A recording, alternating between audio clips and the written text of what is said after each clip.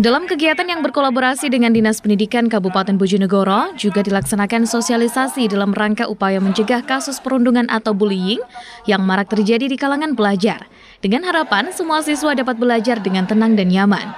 Adapun kegiatan penguatan bela diri yang diikuti tak kurang dari 2000 pelajar ini bermaterikan wawasan kebangsaan atau wasbang, pelatihan baris berbaris dasar dan fun games atau ketangkasan berbasis kelompok ini diberikan kepada siswa SMPN 1 Bojonegoro, SMPN 1 Balen, SMPN 1 Baureno, SMPN 1 Kaziman, SMPN 1 Gayam, SMPN 1 Margomulyo, SMPN 1 Ngeraho dan SMPN 1 Bubulan.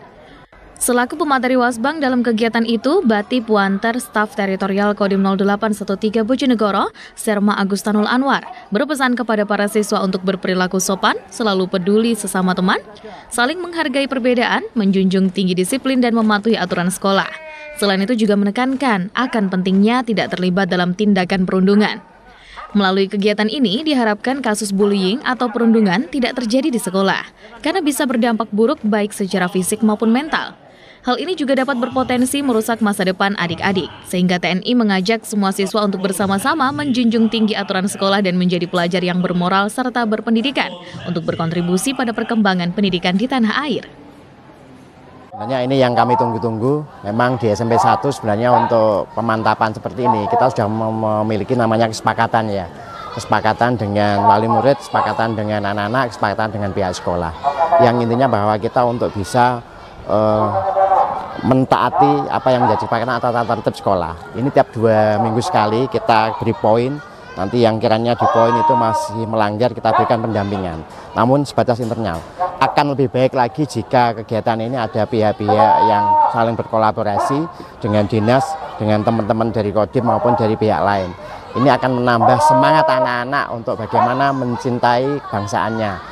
Yang paling tidak berangkat dari kedisiplinan, ya berangkat dari disiplin lalu dari disiplin menimbulkan uh, tanggung jawab menimbulkan gotong royong. Iya, terima kasih sekali kepada Kodim 0813 Bojonegoro yang telah sudi mendampingi anak-anak kami. Tentunya ini juga akan berkelanjutan. Kami harap selalu berkesinambungan.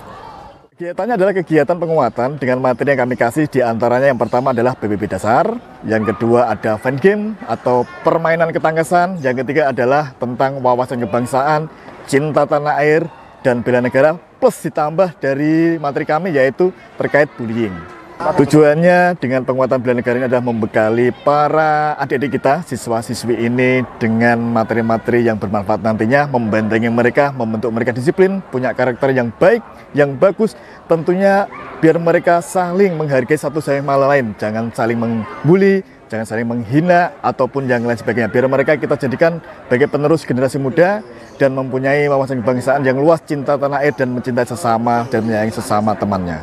Harapan kami agar generasi muda tentunya dari kita yang SMP ini mempunyai akhlak yang baik, karakter yang tangguh, disiplin, berkarakter tentunya bisa menjadi berwawasan kebangsaan yang luas dan nantinya bisa mencapai cita-cita yang mereka harapkan. Kegiatan tersebut menurutnya sejalan dengan program yang sudah dijalankan oleh pihak sekolah, sehingga dengan adanya pendampingan TNI melalui kegiatan penguatan bela negara ini, tentunya akan semakin menjadikan karakter para siswa lebih mantap lagi dan mewujudkan pelajar yang berprofil Pancasila. Kalau Setiadi, Bojonegoro, Sakti TV.